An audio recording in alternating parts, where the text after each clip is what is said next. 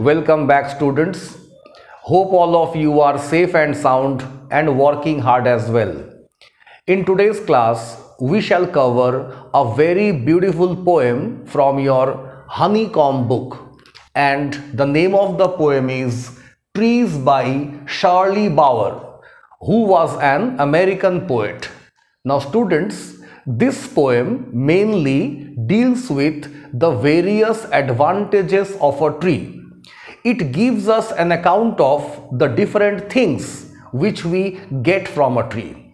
Now students, there are plenty of trees around us and we almost know the things that a tree provides with us.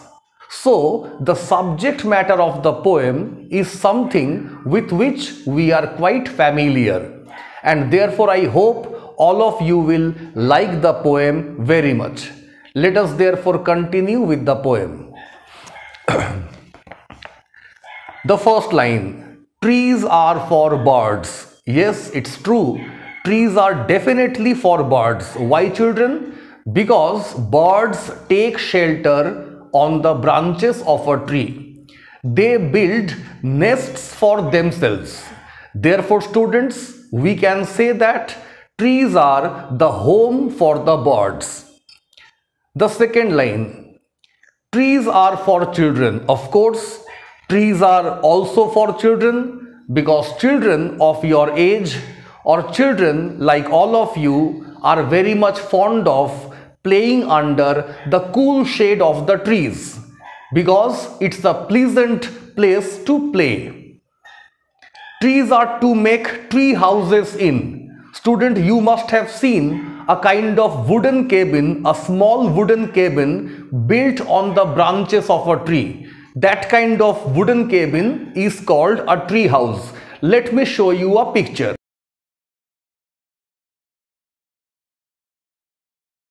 Now students, such a kind of tree top cabin is called a tree house. Trees are to swing swings on. Now students, children play on a swing. What is a swing? It's a kind of seat suspended or hung with ropes or chain or fastened with the branches of a tree. A child can sit on it as you have seen and it moves back and forth. Let me show you a picture of a swing.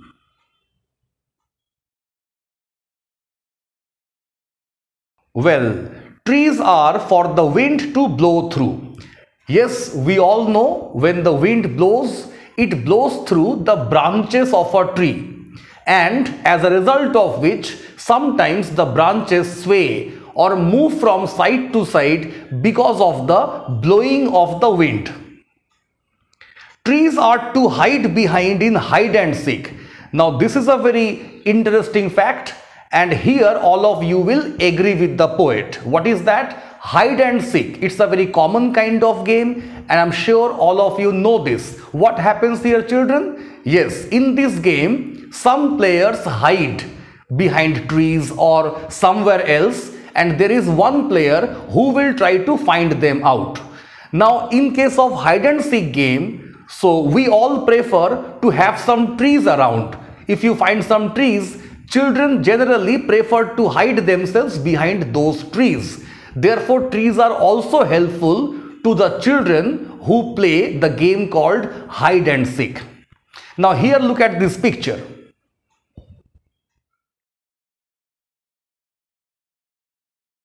Now, trees are to have tea parties under. Now, trees are also useful for arranging tea parties. Now, what is a tea party, students? It's a social gathering of people or when some people sit together to have tea, snacks, etc. especially in the afternoon.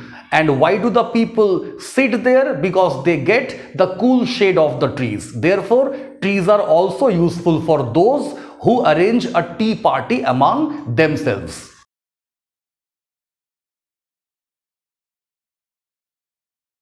Trees are for kites to get caught in. Now students, we all have seen kite flying in which what happens when the cord of a particular kite is snapped. The kite flows away and sometimes gets caught in the branches of a tree. Look at this picture.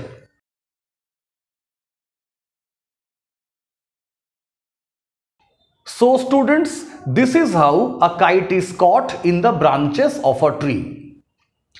Trees are to make cool shade in summer. Yes students, we all will agree with this. In the summer season, trees provide us with cool shade under which travelers take rest for some time and they get rid of their tiredness. We can protect ourselves from the scorching heat of the summer by standing under the cool shade provided by the trees. Trees are to make no shade in winter. Now this is again true. In the winter season, we don't need shade as much as we need sunlight. Therefore, trees don't provide us that shade.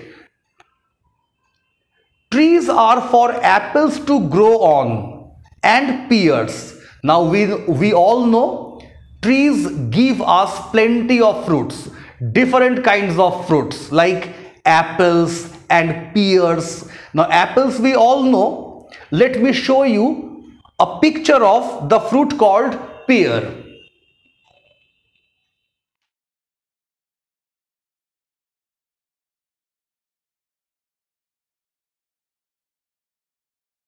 Now, trees are to chop down and called timber. Now, when trees are cut down, when they are chopped down, they are equally useful. Why so? At that time, they are used as timber. That is, the wood is used to make furniture. Trees make mothers say what a lovely picture to paint. Now mothers often say to their sons and daughters to draw the picture of a tree. Because when a child starts drawing it is uh, very easy to start the drawing with a tree. Mothers know this and therefore mothers tell their sons and daughters to draw the picture of a tree. Look at this picture in which a child is drawing a tree.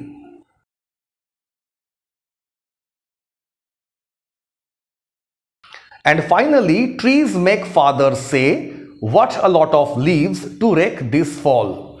Now students, in the previous stanza, we have seen what mothers say to their sons and daughters. Yes, mothers often say to their sons and daughters to draw the picture of a tree. And why do mothers say so? Because mothers know it very well that it will not be a difficult task for the children to draw the picture of a tree because in the beginning, when the children start learning drawing, they should not be given anything difficult. Rather, they should begin with an easy kind of task. And drawing the picture of a tree will be an easy kind of task to them. Now in the final stanza, we shall see what fathers say. We have discussed what mothers say. Now we will see what fathers say. Now, trees make fathers say what a lot of leaves to rake this fall. First of all, in the autumn in the autumn season especially, you know lots of uh, lots of dry leaves, thousands of dry leaves fall from the trees and they are found to be lying on the ground. Now the father wants them to be removed. The dry leaves which are lying on the ground and which have fallen from the trees Fathers want them to be removed. Removed with what? With an implement called rake. Now rake is an implement with which we, we gather materials like dry leaves. Now fathers want us to use the implement called rake and remove those dry leaves, collect those dry leaves and put them in a certain place.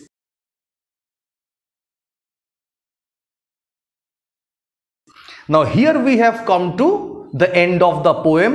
I hope all of you have understood the poem very clearly. See you all in the next class with a new lesson. Thank you.